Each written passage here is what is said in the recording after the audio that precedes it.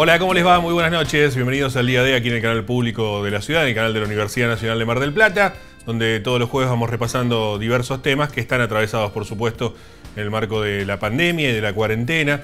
Eh, una cuarentena que tiene ya como característica, digamos, haber terminado, ¿no? Eh, no estamos en cuarentena, en realidad, por lo menos aquí en Mar del Plata. Digamos las cosas de alguna forma que sea más clara. Fase 3, que fase 1, que meten presión. La verdad que todo bastante pobre, y la palabra pobre en este momento, de eso vamos a hablar un poco, eh, es la que más duele en estos tiempos en cuanto a nivel de debates, a nivel de discusión, y sobre todo es más preocupante, digamos, lo que estamos metiendo en esta olla en la cual se cocina la realidad, ¿no? Los distintos condimentos que vamos poniendo y que se van apareciendo. Eh, nos asombramos y por supuesto que nos duele las cifras de, pobreza que, y de indigencia, sobre todo, que se han conocido en las últimas horas que no son más que una consecuencia, pero todo es pandemia. Y todo pareciera ser cuarentena. Entonces quienes están en contra de una cuarentena que no existe, eh, plantean que el problema es la cuarentena que ha impedido. ¿no? La, versión oficial que más se ha escuchado desde el municipio de General Porredón por lo pronto es que la culpa de estos niveles tiene que ver con la cuarentena. Desde la situación de los que están a favor dicen, sí es la cuarentena, pero cuidamos la salud. Entonces, eh, y la cuarentena no está en medio de todo esto hay muchísimas personas sufriendo. Pero digo, eh, voy, a, voy a tratar de describir algunas de, de, las, cuestiones que uno puede ver a simple vista en el marco de este mapa que tenemos en el día de hoy. Hay una situación gravísima social, gravísima, inexorable desde todo punto de vista. Conocíamos los datos de la desocupación, más que de la desocupación o dentro de ese dato de desocupación que siempre hablamos, cuál es el número de desocupación o del desempleo en realidad, el Partido General Porredón, el conglomerado Mar del Plata Batán, la generación de puestos de empleo que se han destruido muchísimos empleos. Es decir, más allá de las personas que estén buscando empleo, se han perdido muchísimos puestos de trabajo y esta es una preocupación muy grande. A todo eso sumarle datos de pobreza que dan cifras que son lamentablemente históricas, ¿no? Ante lo que se está viendo, 250.000 personas en el partido de General Porredón que están bajo la línea de pobreza, más de 70.000 bajo la línea de indigencia. Esto es una preocupación muy grande que va apareciendo y que creo que tiene que ver con todo esto. Vamos a hablar, en este caso, en este programa del día de hoy, acerca de una situación puntual que tiene que ver con la educación y los docentes, también los trabajadores, y ver si hay paritarias también con relación a eso. Así que si les parece, vemos nuestros auspiciantes y comenzamos.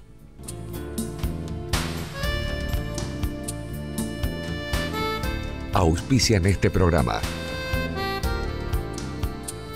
Sindicato de Empleados de Comercio Zona Atlántica. UTE el Libertador. Sindicato Luz y Fuerza Mar del Plata. Colegio de Ingenieros y Centro de Ingenieros de Mar del Plata. Terminal de Contenedores 2 de Mar del Plata. Unión Trabajadores Hoteleros y Gastronómicos de la República Argentina, Seccional Mar del Plata.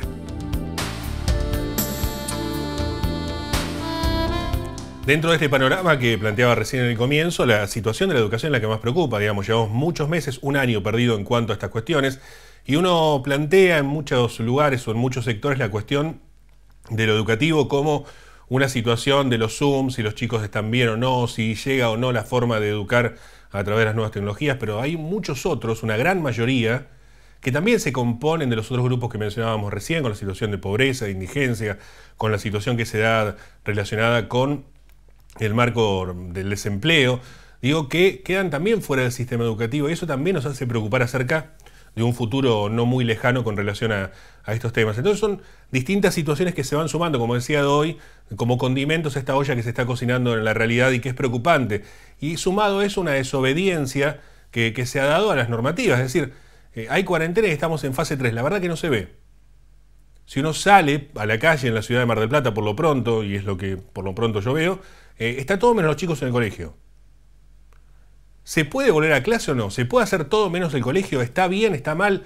Bueno, es una discusión que se está dando en distintos niveles, por supuesto, y que nosotros vamos a averiguar también un poco más de cerca, porque una cosa es la educación privada, que también está en retraso de los pagos de los padres a las cuotas por la situación misma, que dentro de todo tienen un cronograma y en la mayoría de las casas hay una computadora o algún lugar donde puedan desarrollar la tarea. Y otra cosa es la educación pública, está sufriendo graves consecuencias en los sistemas inicial, primario y secundario con relación a esto, más allá de otra cuestión que tiene que ver más con lo social, ¿no? con la sociabilización, que es otro de los puntos esenciales de la educación para los chicos. Vamos a hablar de este tema si les parece. Tengo gusto de saludar al referente del SUTEBA regional, a Gustavo Santos Iván. Y Gustavo, buenas noches, gracias por atendernos.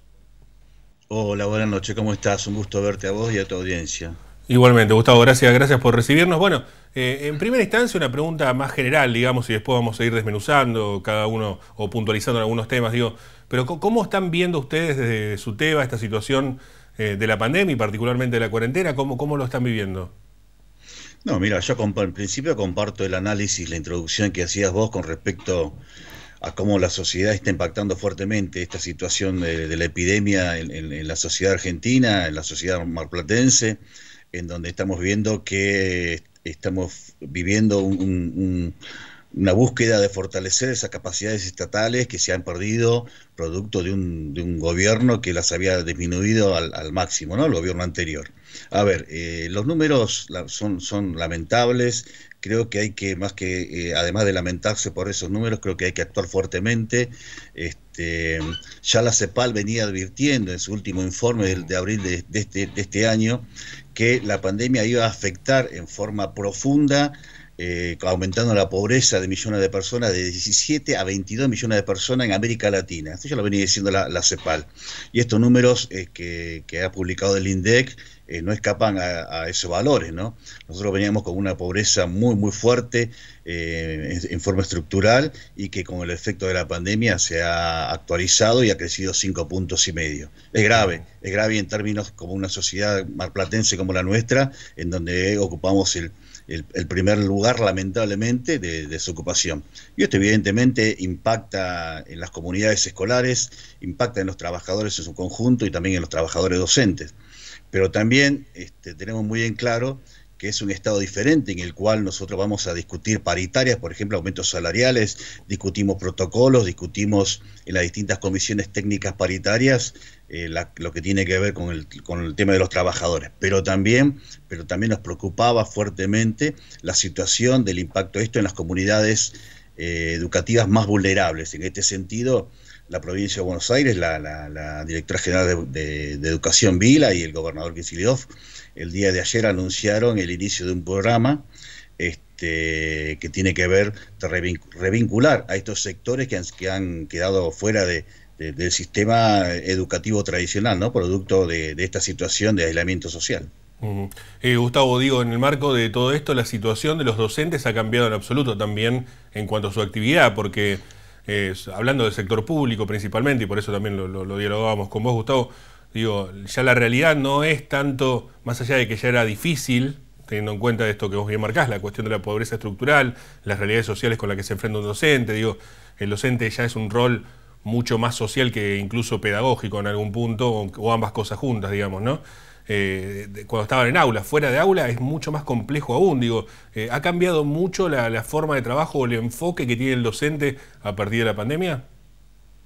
Sí, sí, se ha modificado muy, muy profundamente, tanto desde la, la relación de tratar de mantener algún tipo de vínculo pedagógico, algún tipo de, mantener la trayectoria con los alumnos, cosa que sabemos que, que, también no era posible en muchísimas comunidades, porque, a ver, eh, no solamente no estaban este, no, solamente estábamos enfrentando a situaciones estructurales de pobreza o de marginalidad, sino también este, no había ni siquiera un relevamiento eh, de las condiciones tecnológicas o materiales, no solamente de los alumnos, sino tampoco de los docentes.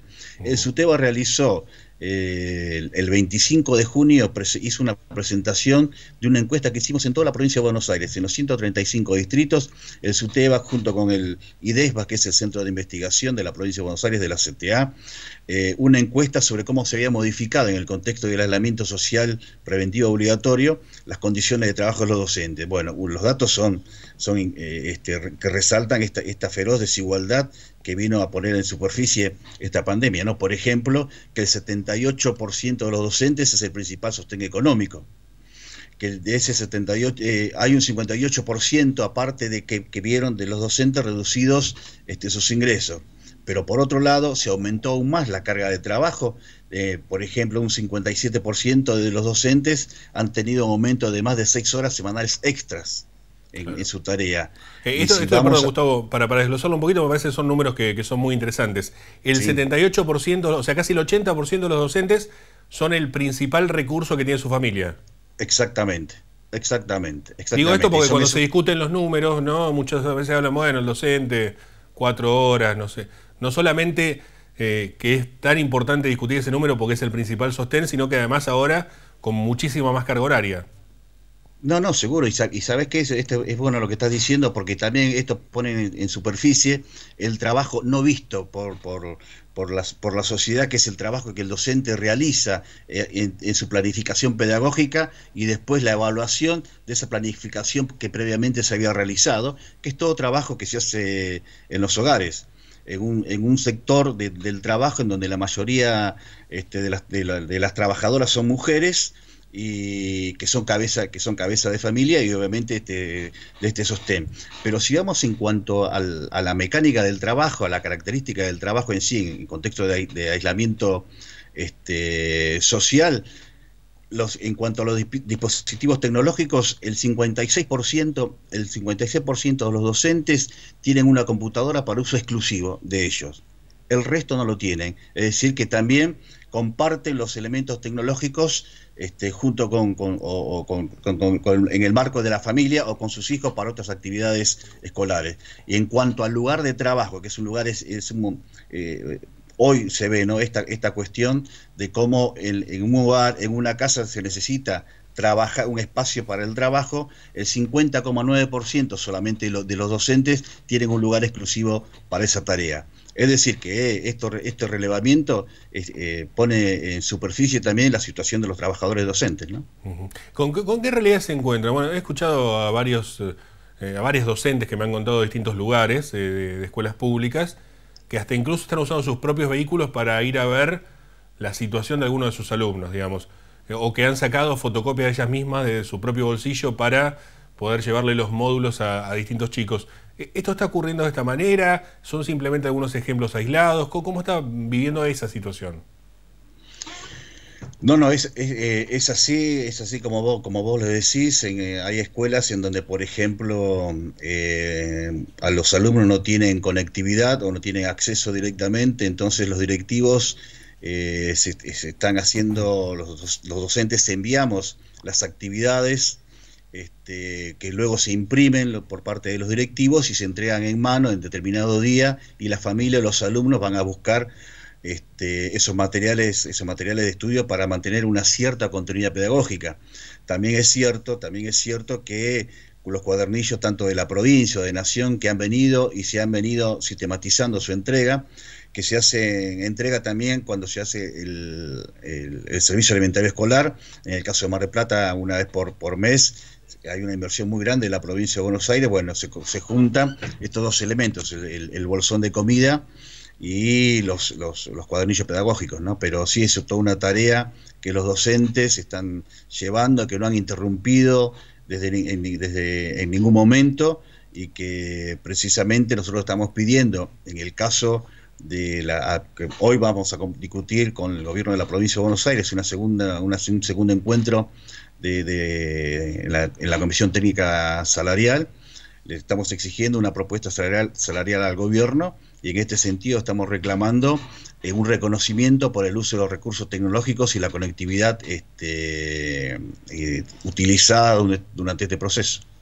seguramente. ¿Qué, es lo que están pidiendo de, de propuesta desde los gremios?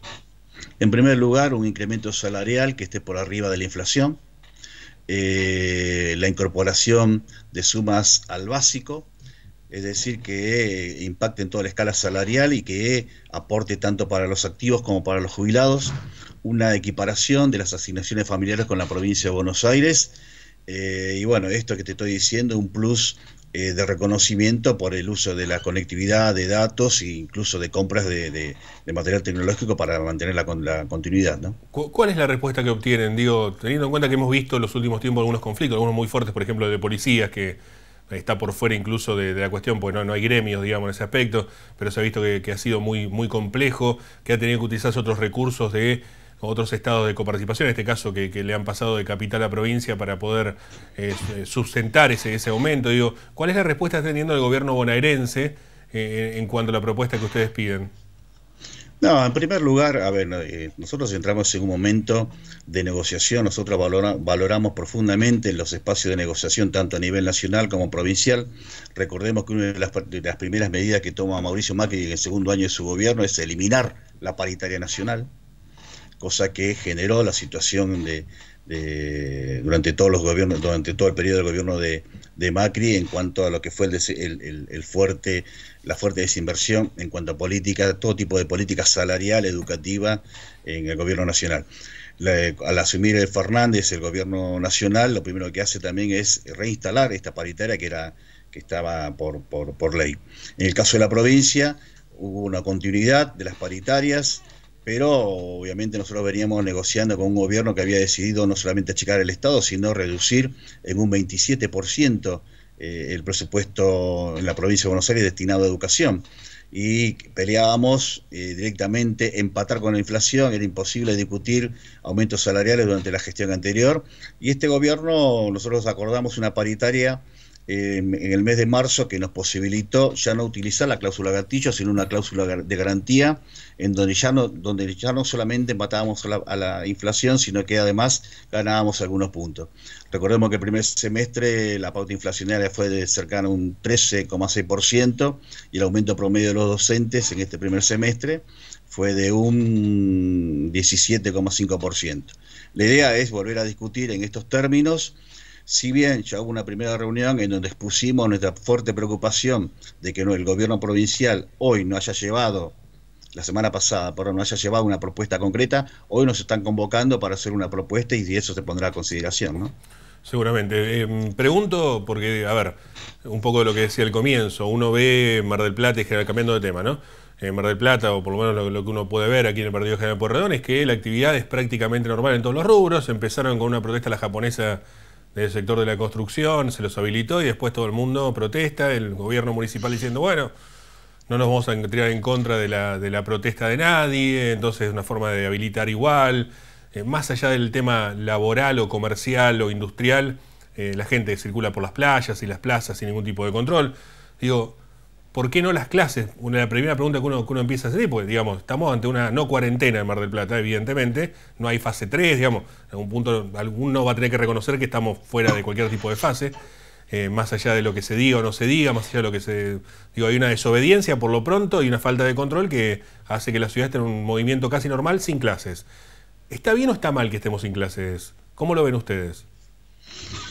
Yo creo que son cuestiones este, diferentes, pero que en algún punto se encuentran. Es cierto lo que vos estás planteando, que hay una especie de desobediencia social, que también es preocupante en cuanto eh, que no se vea el Estado eh, en términos de políticas de autoridad, ¿no? y no estoy hablando de...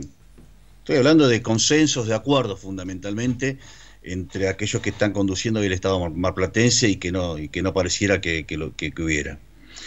Eh, con respecto a las cuestiones económicas, me parece que, lo, que está atravesando Mar del Plata es grave, tiene una cuestión estructural, pero que no hay respuestas firmes desde el gobierno municipal este, para, para, para, superar las mismas. A ver, desde las centrales sindicales estamos con, eh, planteando la necesidad de crear un Consejo Económico y Social fuerte, una mesa de, diálogo entre los distintos sectores. Este, esto no se está viendo, las, mm. cuestiones del, municipio son aisladas y de controles, bueno, controles ni hablar.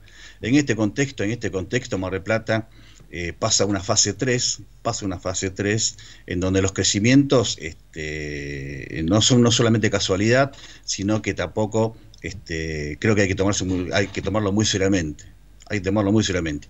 Las escuelas de Mar del Plata, tanto las municipales como las provinciales, no están en condiciones en términos de infraestructura, por ejemplo, para tener una apertura semipresencial este, o presencial eh, con esta cantidad de contagios que, está teniendo Mar del Plata, mucho más que, este, eh, que en otras provincias del país. Eh, es alarmante lo que está sucediendo en Mar del Plata, no hay ningún tipo eh, nosotros estamos discutiendo con la provincia de Buenos Aires en términos sanitarios y, educativos protocolos fuertemente, que, van a ser fuertemente este, eh, pedidos y con, controles estrictos para que haya una primera vuelta cuando eh, el Ministerio de Salud de la provincia de Buenos Aires así lo plantea, lo plantee. Ahora, no estamos viendo esas medidas en el caso de Mar del Plata o sea, por, más que por más que la provincia o la nación y las provincias decidan volver a clases, en Mar del Plata no se podría. No, a ver, la provincia, la provincia de Buenos Aires ha sido muy claro, este, el, equipo que se ha conformado entre la Dirección General de Escuelas y, y especialistas de salud. que la, solución es epidemiológica. Bien, pero esa, esa solución epidemiológica no va a ser todo igual para todos los distritos de la provincia de Buenos Aires, porque es cierto que hay distintas realidades. Ahora, nosotros estamos en una situación similar a la del conurbano marplatense, tanto en, términos de infraestructura escolar como de cantidad de población y complejidad del sistema, tanto educativo como de salud. Pero también, pero también pertenecemos, este, eh, en el caso de la provincia de Buenos Aires, al sector del AMBA en cuanto al crecimiento de los casos. Incluso ya lo hemos superado. Pero digo, en Mar del Plata eh, las decisiones no van a venir en forma unilateral para toda la provincia, sino que van a ser contemplados en espacios, en mesas de debate y discusión, pero van a ser en última instancia las comunidades territoriales. Me parece una decisión muy acertada de la provincia y que nosotros venimos pidiendo que no sea el organismo provincial el que decida dónde, sino que sea la comunidad misma que sepa. Porque abrir espacio, eh, las clases en forma semipresencial, una semipresencialidad o esa burbuja de la que habla el ministro Trota, para eso necesitas equipamiento, para necesitas materiales, para necesitas infraestructura. Y hoy por hoy no lo hay y el municipio, estoy solamente un dato, el municipio había firmado antes de la epidemia, antes de la aparición del aislamiento social, había firmado con la provincia de Buenos Aires en el verano un convenio en el cual se hacía cargo del el arreglo de 18 escuelas este, provinciales. Al día de hoy lleva ejecutado solamente tres, es decir, un 18%.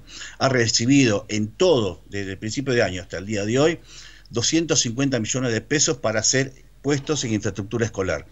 No ha hecho, y la normativa plantea que por lo menos la mitad tiene que ser destinada a esos fines. No lo ha hecho al día de hoy, ni siquiera ha, respetado ese convenio. ¿no? Digo, la, situación es compleja en Mar del Plata. Gustavo, gracias por estos minutos y bueno, seguiremos en contacto a ver cómo, cómo avanza todo esto. ¿eh? No, gracias a, vos y gracias por la comunicación. Un abrazo, hasta pronto. ¿eh? Gustavo Santos Ibáñez referente regional del SUTEBA, en relación a esta situación que se está viviendo con la educación, principalmente del sector público. Unión Trabajadores del Turismo, Hoteleros y Gastronómicos de la República Argentina, Seccional Mar del Plata, San Luis 2548. Con IDEA WhatsApp podés consultar tu deuda, pagar facturas y hacer reclamos. Cada vez más fácil. WhatsAppea con IDEA. Agendalo 2236 34 3332. Viajar en colectivo te conviene. Ahora tenés una respuesta inmediata a todas tus consultas. La nueva línea gratuita de atención al usuario 0800-333-0701. Viaja asegurado, viaja tranquilo. Subite a los colectivos de Mar del Plata. Colegio de Ingenieros y Centro de Ingenieros. Compromiso y responsabilidad profesional. Al servicio de la comunidad. ¿Querés ser proveedor de obras sanitarias? Si te inscribís en nuestro registro de proveedores, podrás participar de todos los procesos de contratación y compras de bienes y servicios gestionados por la empresa. Podés realizar el trámite en forma virtual y en pocos pasos. Ingresá en www.osmgp.gov.ar y seguí las instrucciones. Te invitamos a ser parte.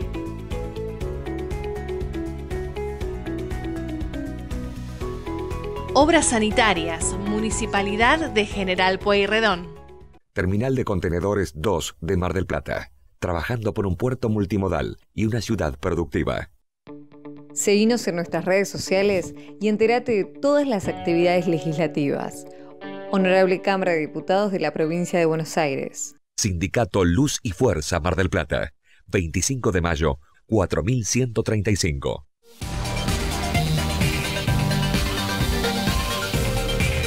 Folletos, afiches, formularios continuos, libros, revistas, periódicos, impresos comerciales y sociales. Tenés que imprimir Del Plata, la imprenta. Tradición gráfica marplatense.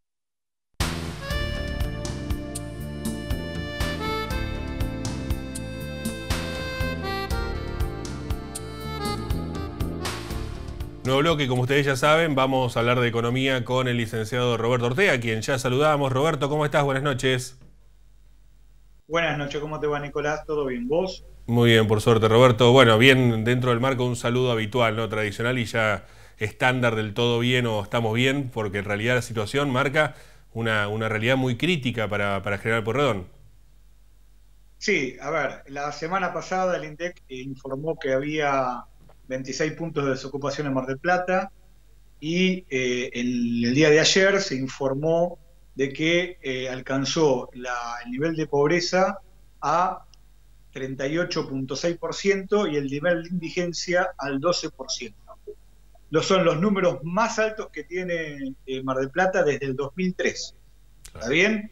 Excepto un par de años que no se midió, pero que no, tampoco estaban tan altos, así que podemos mirar tranquilamente que la última vez que teníamos un nivel de pobreza tan alto fue en el 2003, lo cual significan dos cosas. Primero que hay cerca de 250.000 personas en Mar del Plata en situación de pobreza, pero lo más preocupante es que en el último año la indigencia, que es aquellas personas de que no llegan a cubrir sus necesidades alimentarias, ah, se duplicó. Pasamos de 38.000 personas a cerca de 77.000. Es decir, que en Mar del Plata hay cerca de una persona cada 10 habitantes que está sufriendo hambre, lo cual es un número realmente eh, preocupante ¿no? para la situación social eh, y que va a tener que, digamos, y, que, no tiene perspectivas de mejorar en el cortísimo plazo. lo más probable es que el desempleo tienda a ceder a medida que se vayan abriendo las actividades, pero que la pobreza sea algo más estanco, ¿está bien? Porque lo que acá hay en la pobreza son dos variables que estamos mirando. Uno, obviamente, si la gente tiene o no tiene empleo, pero la otra es la cantidad de ingreso que tiene. Los ingresos en la Argentina, vía la inflación por un lado y vía que no hay paritarias por el otro, o casi no hay paritarias por el otro, están disminuyendo independientemente de que tengas o no tengas empleo. Lo cual eh, uno tendería a pensar de que, eh, digamos, el problema del desempleo no va a bajar a, a, números lógicos, pero sí va a bajar a números más razonables en los próximos meses, pero que el nivel de pobreza del segundo semestre va a seguir estando muy alto respecto, digamos, a la media histórica del tema Estamos hablando del primer semestre, Roberto, es decir, que esto incluye el verano marplatense, que sí hubo actividad. Exactamente, esto incluye los tres meses del verano y así todo, digamos, el, golpe fue terrible y, lo, digamos, lo que primero debería pensar, digamos, hoy eh, tanto el gobierno provincial como el municipal es empezar a eh, buscarle la vuelta para que eh, se pueda trabajar con protocolos, pero que se pueda trabajar. si uno se este pone a pensar en lo que pasó junio, julio y agosto, evidentemente no se puede ser muy optimista de cara a futuro tampoco.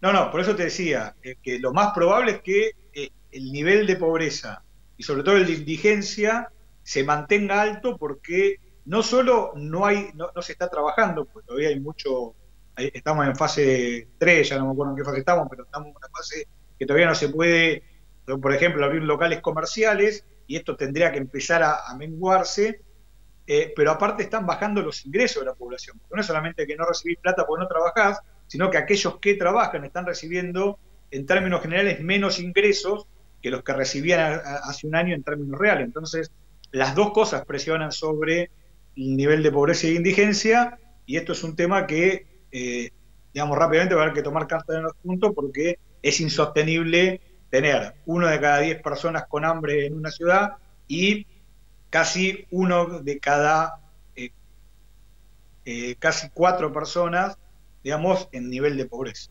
Seguro. Gracias, Roberto. Hasta la semana que viene. No, por favor, hasta la semana que viene. Roberto Ortega y la Economía. No tenemos más tiempo. Los esperamos el próximo jueves a las 22 aquí en el canal de la Universidad Nacional de Mar del Plata. Que tengan una muy buena noche y gracias por acompañarnos. Chao.